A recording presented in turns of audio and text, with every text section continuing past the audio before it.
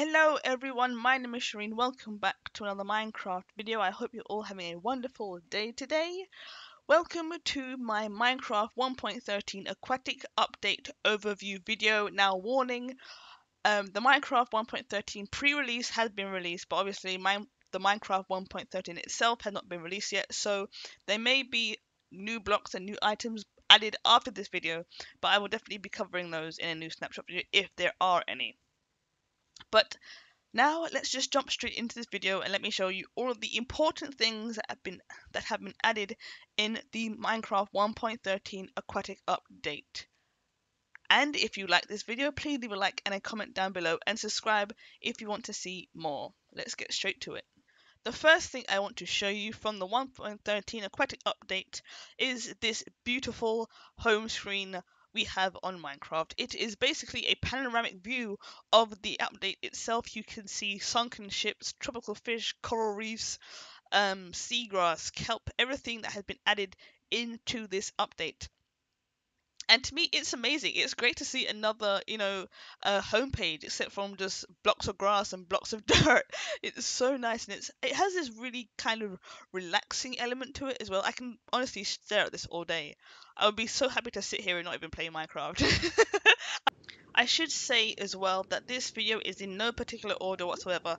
So let's start off with Coral. Coral has been added in Minecraft 1.13. It is one of the best blocks added in this update. You can see the variety here. So we have blue, pink, purple, red and yellow coral blocks as well as their fans which are basically coral flowers. These generate naturally in deep warm oceans in the Minecraft 1.13 update and they look absolutely beautiful. Fans can be obviously um, put on sides and on top of coral blocks and they look really really cool. Next up we have blue ice that generate on icebergs in deep frozen ocean biomes. We have a dried kelp block right here, a conduit which is used to make underwater beacons which we will get to soon. We have seagrass generated naturally in beaches and ocean biomes alike and rivers as well. Uh, we have I think this is kelp as well. I completely just forgot what it was called, sorry. And we have sea pickles. Now, I didn't do a video about this, but sea pickles generate in deep warm oceans along with coral. And in these chests, we have most of the important items that have been added in this 1.13 update. So, if you look here, we have scutes, which can be dropped by turtles when they hatch from their turtle eggs. We have nautilus shells and heart of the seas, which can be found either fishing or in a buried treasure chest. We have Tridents, which is the brand new weapon in Minecraft 1.13. We have Phantom Membrane, which can be attained by killing a phantom, as well as the Potion of Turtle Master, which gives slowness and resistance, and the Potion of Slow Falling, which can be made with a Phantom Membrane.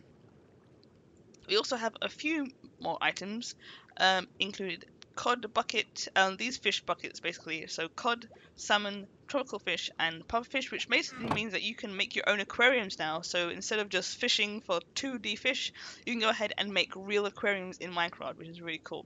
We also have brand new mobs. We have cod. We have obviously spawn eggs for the actual fish themselves. So again, cod, salmon, tropical fish, and pufferfish. We also have drowned mobs, dolphin that spawn eggs, and we have phantom spawn eggs as well. And as I said before, conduits can be used to make underwater beacons, which you can see right here. And if you look at the top right on my screen, you will see a conduit power logo right there. And that's giving me conduit power, which is basically giving me, hey, is that turtle stuck right there? um, so, anyway, um, conduit power gives me haste, it gives me night vision underwater, and it also gives me infinitive uh, water breathing, so I can breathe underwater forever, basically, which is pretty cool as well. As I've said before, a number of mobs will be added in the Minecraft 13 update, and right now I'm going to show you what they actually look like. So the first one we're going to check out is turtles, and we press this button right here, you can spawn a turtle. Turtles can be bred using seagrass. A turtle will then bury itself in the sand. It will lay the eggs on the sand, and in 10 to 15 minutes, that egg will hatch into a baby turtle and that turtle will grow up to be an adult. The second mob is dolphins and we can press that right here. You can see these cute dolphins that will be added in Minecraft 1.13. They will be able to guide players to buried treasure in the future. um, if they find any kind of item underwater, they'll actually take that item into their inventory and use it as a toy. They'll play with it, they'll throw up in the air, and they'll catch it in the water as well. And the next mobs to be added in the Minecraft 1.13 update are phantoms right here. Now, phantoms will only spawn at nighttime. They will spawn, I think, 20 to 30 blocks away from players, and they will attack players that have not slept for at least three nights in the Minecraft. They drop leather, uh, 1 to 4 leather, I think it is. I believe it is. And they also drop phantom membranes, which can then be turned into the Minecraft slow falling potion. The next mob we have are the drowned mobs. These mobs are basically drowned zombies. So whenever a zombie dies within water, it turns into a drowned mob. These drowned mobs can be found in underwater ruins, and they can actually be found in baby variants, and they can be found holding tridents, and you may be able to get that trident if you have a looting 3 sword. Sunken ships will also be added in the Minecraft 1.13 update. If I go around the side here, you can actually see that this ship is on its side. And if we go inside, we should be able to find chests, or two or three. And in these chests you'll find a variety of things, and you may even be able to find buried treasure maps in one of the chests.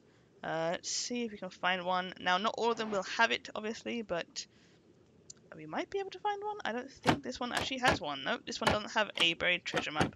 So I'll have to find another one for you. Another thing that will be added are underwater ravines and caves, and these will have underwater bubble columns in them. These ones are magma cube and magma block underwater columns, and these suck you down into the ravine itself. Soul sand, the bubble columns, if I can show you right here, will push you up towards the surface. So let me drag one into my inventory. I put this here. You can see if I stand on it, it will just shoot me straight up to the surface of the ocean, which is very nice actually. It's a very um, efficient way to travel in Minecraft 1.13 now. As I said in the beginning of this video, coral has been added to Minecraft 1.13 and right here we have a coral reef. You can see all of the varieties right here, tall coral, short coral, box coral even. You can see all the fans on top of them. And scattered throughout you can see sea pickles that actually add some light into the coral reef as well. As I said before, drowned mobs can spawn around underwater ruins and we have one right here. It may be a small one, but it is a pretty cool one as well. We have a magma cube um, bubble column right here and if we remove this block here you can see that we have a chest and you do have a chance of finding a treasure map in these chests as well. I might reiterate that. And also I can show you this over here. This is a larger underwater beacon with a different um, structure to it, but it works just the same. And it does give you more distance on that um, conduit power as well. In fact, if we go over here, we will see an even bigger underwater ship right here. Look at this. This is a this is the best ship I've ever seen in Minecraft, and as, of course we can go inside of it. We can look into it. We can open this door right here. There should be a chest over here. Look at this. We have an empty map right there. And we can go over here. Another chest here. And yeah, you can find buried treasure map, but again, again, they are very rare. So what I'll do, I'll go into another one of my worlds and I'll show you what they actually look like. Okay, so I've just jumped into one of my previous snapshot videos to show you a buried treasure map. So as you can see in my inventory, I have a buried treasure map right here. If I select it and turn around, you can then see there is an X pointing me directly to the treasure itself. So if we go, I know exactly where this um, treasure is, by the way. So if we go in this direction, I think, you'll start to see the arrow go towards it and we can turn and try and see where it is. It should be right around here. Now the bad thing about this these treasure maps is that it doesn't actually tell you where the treasure map the treasure itself is, which is why you kind of need the dolphin because the dolphins tell you where it is. So you can see on here, it tells you that the treasure is right here, but you have no idea where it is. I mean, it's definitely not in the ship. It's not going to be in the ship because that's where you find the buried treasure maps. I can tell you that I've actually found it before, and the chest is right here, and you can see everything that's in here, Heart of the Sea. Uh, so that is the very treasure maps in Minecraft 1.13.